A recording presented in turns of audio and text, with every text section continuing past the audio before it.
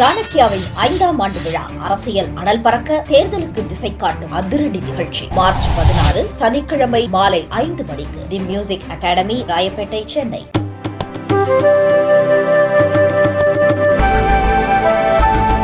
நாடாளுமன்ற தேர்தல் நெருங்கிக் கொண்டிருக்கக்கூடிய இந்த சூழலில் தமிழகத்திற்கு பாரத பிரதமர் நரேந்திர மோடி அவர்களுடைய வருகை என்பது அரசியல் களத்திலே வேகமான மாற்றங்களை உருவாக்கி கொண்டிருக்கிறது. நேற்று கோவை மாவட்டத்தில் நடந்த பொதுக்கூட்டத்தில் பொதுக்கூட்டம் அல்ல அது ஒரு அரசு நிகழ்ச்சி. அந்த அரசின் நிகழ்ச்சியிலே பேசி இருக்கக்கூடிய தமிழகத்தினுடைய முதல்வர் ஒரு அரசாங்க நிகழ்வு என்பதை தாண்டி பிரதமர் அவர்களை மிகவும் தரக்குறைவாக விமர்சித்திருக்கிறார். அதற்கான எங்களுடைய கண்டனங்களை நேற்றே நாங்கள் தெரிவித்திருக்கிறோம். ஒரு அரசு நிகழ்ச்சி என்கின்ற காரணத்தினால் நானும் கோவையிலே மருத்துவமனை வளாகம் திறக்கப்படக்கூடிய காரணத்தினால் அது என்னுடைய தொகுதி என்ற காரணத்தினால் அந்த விழாவில் நானும் கலந்து கொண்டிருந்தேன். தமிழகத்திற்கு மோடி அவர்கள் என்ன செய்தார் என்பதை பற்றியும் மோடி புழுகு வாட்ஸ்அப் யூனிவர்சிட்டி பொய் பரப்புகிறார்கள் என்கின்ற ரீதியிலே ஒரு மாநிலத்தினுடைய முதல்வராக அவர் அங்கு பேசவில்லை என்பது நிச்சயமாக தெரிந்தது. ஒவ்வொரு முறை தமிழகத்திற்காக புதிய திட்டங்களை துவக்கி வைப்பதற்கு பிரதமர் மோடி அவர்கள் வருகின்ற பொழுது மாநிலத்தினுடைய முதல்வர் என்கின்ற வகையில் அவர்தான் மிகவும் அருகில் இருந்து கவனிக்கிறார். இந்த மத்திய அரசு மோடி அவர்கள் தலைமையிலான அரசு. கடந்த முறை திமுக கூட்டணி காங்கிரஸ் ஆட்சியில் மத்திய அரசு என்னவெல்லாம் தமிழகத்திற்கு செய்ததோ அதை விட பல மடங்கு அதிகமாக மோடி அவர்கள் தமிழகத்திற்கு கொடுத்திருக்கிறார். பதினோரு மருத்துவக் கல்லூரிகள் இந்தியாவிலேயே வேற எந்த மாநிலத்திற்கும் ஒரே சமயத்தில் இத்தனை மருத்துவக் கல்லூரிகள் கொடுக்கப்படவில்லை இத்தனை பா- மக்கள் தொகைக்கு. இங்கு தென் மாவட்டங்களுடைய வளர்ச்சிக்காக கூட நீண்ட நாள் கோரிக்கையாக இருக்கக்கூடிய இரட்டை ரயில் பாதை. இந்த தூத்துக்குடி பகுதிக்கே கூட புதியதாக ரயில்வே திட்டங்களுக்கான நிதி ஒதுக்கீடு என்று சமீபத்தில் வருகை தந்தபோது கூட தூத்துக்குடிக்கு வந்து புதிதாக இஸ்ரோ திட்டத்தை துவக்கி வைத்திருக்கிறார். இவையெல்லாம் முதலமைச்சர் பார்த்து கொண்டுதான் இருக்கிறாரா? பார்த்து கொண்டிருந்தால் எதற்காக இப்படியான ஒரு கேள்விகளை முன்வைக்கிறார் என்பது புரியவில்லை. ரெண்டாயிரத்தி பத்தொன்பதிலே மோடி அவர்களுக்கு எதிராக ஒரு எதிர்ப்பலையை உருவாக்கி அதன் வாயிலாக முப்பத்தி எட்டு எம்பிக்களை பெற்று அதன் மூலமாக தமிழகத்திற்கு எந்த விஷயத்தையும் அவர்கள் செய்யாவிட்டாலும் கூட நாங்கள் முப்பத்தெட்டு எம்பிக்களை ஜெயித்தோம் என்று சொல்கின்ற காரணத்திற்காக வைத்திருந்தார்கள். இந்த முறை அப்படி ஒரு மூடி எதிர்ப்பை உருவாக்குவதற்காக முயற்சி செய்கிறார். மாநிலத்தினுடைய முதல்வர் ஒருபோதும் அவருடைய முயற்சி வெற்றி பெறப் போவதில்லை. இதோ நாளை நாகர்கோயிலுக்கு பிரதமர் வருகை தரப் போகிறார். அதற்கு பின்பாக பதினெட்டு மாலை கோவையிலே நடக்கின்ற ரோட் ஷோவிலே கலந்து கொள்கிறார். பத்தொன்பது சேலத்திலே நடக்கின்ற பிரம்மாண்டமான பொதுக்கூட்டத்தில் கலந்து கொள்கிறார். பிரதமர் என்கின்றவர் நாட்டினுடைய பல்வேறு பகுதிகளுக்கும் எப்படி சுற்றுப்பயணம் செய்கிறார் என்பதை அவரை பார்த்து ஒவ்வொரு அரசியல் கட்சிக்காரர்களும் தெரிந்து கொள்ள வேண்டும்.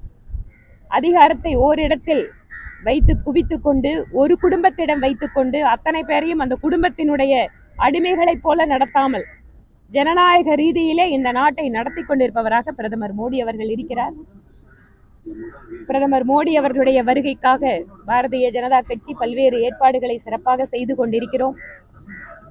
தமிழகத்தில் பிரதமர் மோடி அவர்களுடைய வருகை ஒவ்வொரு முறையிலும் கட்சிக்கான வாக்கு சதவீதத்தை உயர்த்தி கொண்டிருக்கிறதாக பார்க்கிறோம். மேடம் பெண்களுக்கு எதிரான கொலைகள் வந்து பாலியல் தொந்தரவுகள் இந்த மாதிரி நிறைய நடக்குது இன்னைக்கு கூட தூத்துக்குடியில் ஒரு லேடியை வெட்டி கொலை பண்ணியிருக்காங்க.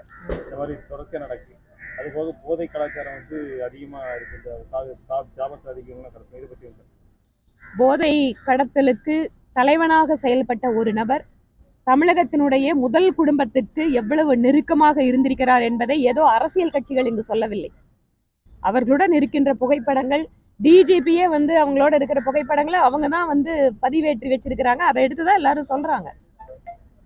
அவர் இவ்வளவு நெருக்கமாக இவ்வளவு தூரம் இவர்களுக்கு உதவி செய்பவராக. அதுதான் நம்ம கவனிக்க வேண்டிய விஷயம்.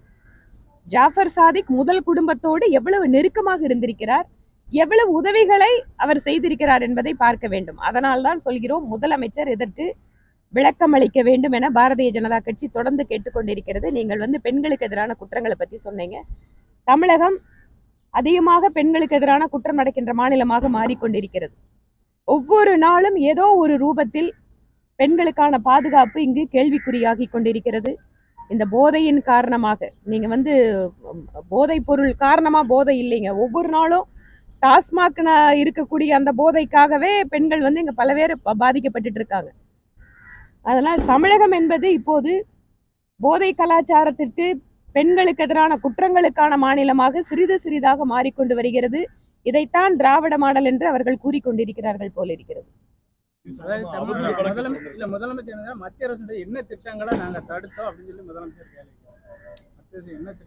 எதிர்க்கட்சியாக இருந்தபோது திராவிட முன்னேற்ற கழகம் எந்தெந்த திட்டங்களை எல்லாம் எதிர்த்தது அப்படின்னு சொல்லிட்டு பட்டியல் போட்டு சொல்ல முடியும். நீங்க வந்து சென்னை சேலம் எட்டு வழிச்சாலை இன்னைக்கு வந்து உங்களோட உங்களோட அமைச்சர் என்ன சொல்றாரு? நெடுஞ்சாலைத்துறை அமைச்சர். அதை நிறைவேற்றுறோம்னு சொன்னாரு. எதிர்க்கட்சியா இருந்தபோது மக்களை திரட்டி ஆர்ப்பாட்டம் பண்ணி அந்த திட்டத்தை தடுத்தது யாரு? மக்கள் கிட்ட போய் சொன்னது யாரு? நாங்க வந்தா முதல் கையெழுத்து நீட்டுக்கு எதிராக போடுவோம்னு சொன்னீங்க. இன்னைக்கு மூணு வருஷம் ஆச்சு. என்ன ஆச்சு? இது பொய் வாக்குறுதி இல்லையா? நீங்க கொடுக்குற பொய் வாக்குறுதி ஆனா எங்களை பார்த்து நீங்க வாட்ஸ்அப் யூனிவர்சிட்டின்னு பேசுறீங்க.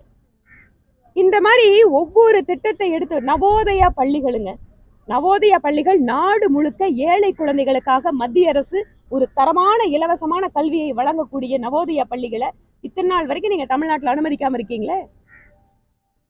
ஆனால் தமிழகத்திற்கு கிடைக்கக்கூடிய நிதி என்பது ஒருபோதும் எங்கேயுமே தள்ளி வைக்கப்படுவதில்லை. நீங்க வந்து தூத்துக்குடியில மழை வெள்ளத்தின் போது கூட தேசிய பேரிடர் நிவாரண நிதியிலிருந்து உடனடியா என்ன நிதி கொடுக்கணுமோ அது கொடுத்துருக்கு மத்திய அரசு. உங்களோட ஆதாரங்களை என்னென்ன பாதிப்புகள் கொடுத்துருக்கிறீங்க அதற்கு வந்து கொடுக்க வேண்டிய நிதி இங்கே தமிழகத்திற்கு கொடுக்கப்படும். அதனால் தமிழகம் வளர்ச்சி அடைந்து ஒரு வேகமாக வளர்ச்சி அடைகின்ற மாநிலம் அதற்கு என்ன முக்கியத்துவம் கொடுக்கணுமோ மத்திய அரசு கொடுக்குது. டிஃபென்ஸ் காரிடார் கொடுத்தாங்க.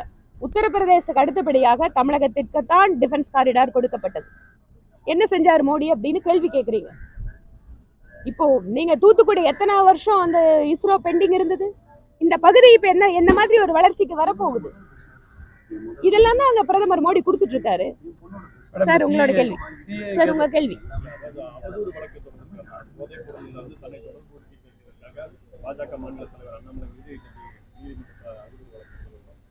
எத்தனை எத்தனை வழக்குகள் தொடர்ந்தாலும் உண்மையை மக்களுக்கு சொல்வதில் பாரதிய ஜனதா கட்சி எப்போதும் தயங்காது.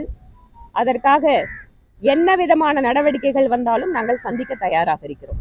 மகளிர் உரிமை தொகை குறித்து நிறைய குஷ்பு பேசியிருந்தாங்க. அதுக்கு தொடர்ச்சியா போராட்டத்தினர் வந்து போராட்டத்தில் ஈடுபட்டு அவங்க முதல்ல குஷ்பு அவர்கள் அவங்க அவங்க தமிழ் மொழி இவ்வளவு தூரம் பேசுறது சிறப்பு.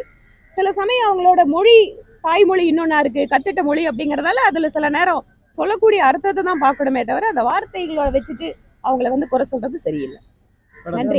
சிஏஎம் தமிழகத்துல அமல்படுத்தப்பட மாட்டாது அப்படிங்கிற மாதிரி அதாவது சில துறைகள் வந்து மத்திய அரசுக்கு உரிமை இருக்கக்கூடிய துறைகள். நிதியோ பாதுகாப்போ அந்த மாதிரி. சட்டம் ஒரு சில துறைகள்ல ஏற்றலானா முழுமையான அதிகாரம் மத்திய அரசுக்கு தான் இருக்கு. அதனால ஒரு மாநில அரசு மத்திய அரசினுடைய சட்டத்தை நிறைவேற்ற முடியாதுன்னு சொல்ல முடியாது. இரண்டாவது தமிழகத்திற்குள்ளேயே நான் அதான் நேத்து கூட உதாரணம் சொன்னேன். கோயம்புத்தூர்ல ஒரு எம்எல்ஏ கூட திமுக கிடையாது. தமிழக அரசு கொண்டு வர சட்டத்தை தீ கோவை மாவட்டத்துக்குள்ள நிறைவேற்ற கூடாதுன்னு நாங்க சொன்னா நீங்க ஏத்துக்குவீங்களா? நன்றிங்க? பாருங்க வேட்பாளர் பட்டியல் இது டெல்லியில மத்திய தேர்தல் குழு. எப்ப வந்து தமிழகத்திற்கான வாய்ப்பு வருகிறதோ அந்த லிஸ்ட்ல வருதோ அப்ப வந்து வேட்பாளர் பட்டியல் வரும். பிரதமர் வருவதை- பிரதமர் வந்து தொடர்ந்து தமிழகம் வருவதை வந்து கனிமொழி எம்பி தேர்தல் வருகிறது காரணத்திற்காக மட்டுமே இந்த மாதிரி வர்றாரு அப்படிங்கிற மாதிரி வீடு எடுத்து தாங்கன்னா நான் கொலையை தமிழ் மொழியை தமிழ் கலாச்சாரத்தை தமிழனுடைய பெருமையை எல்லாம் உலகம் முழுவதும் எடுத்துச் செல்கின்ற ஒரு மிகச்சிறந்த தமிழராக பிரதமர் மோடி அவர்கள் இருக்கிறார். அதனால் திருமதி கனிமொழியினுடைய தந்தையார் செய்யாததை திருமதி கனிமொழியினுடைய தமையனார் செய்யாததை அது செங்கோலிலிருந்து தமிழ் மொழியினுடைய பெருமை இமயமலையில் பேசுகின்ற வரை பிரதமர் மோடி செய்து கொண்டிருக்கிறார். அவர் வீடெடுத்து தங்கினால் என்ன? அவர் எப்போதுமே தமிழர்களுக்கு நெருக்கமாக இருக்கிறார். தமிழகம் ஒவ்வொரு முறையும் பிரதமர் மோடி வருகின்ற பொழுது திராவிட முன்னேற்ற கழகத்துக்காரங்களுக்கு அப்பதான் தமிழை பத்தி எல்லாம் தெரியுது. கூட்டணி பொறுத்த வரைக்குங்க தேசிய தலைமை முடிவெடுத்து நிறைவாக அறிவிக்கின்ற வரை நீங்க பார்த்துட்டு இருக்கீங்க யாரோடலாம் நாங்க பேசிட்டு இருக்கோம் நல்லா வெளிப்படையா தானே பண்ணிட்டு இருக்கோம். எந்த ரகசியம் கிடையாது.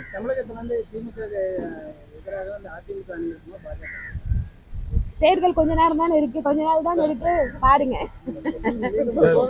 திமுகவை வீழ்த்தி காட்டுவோம் அப்படிங்கறத எங்களோட எண்ணம். கட்சி முடிவு செய்தால் யாரா இருந்தாலும் நாங்க கட்சி சொல்றதை எடுத்துக்கணும் அவ்வளவுதான். நன்றி.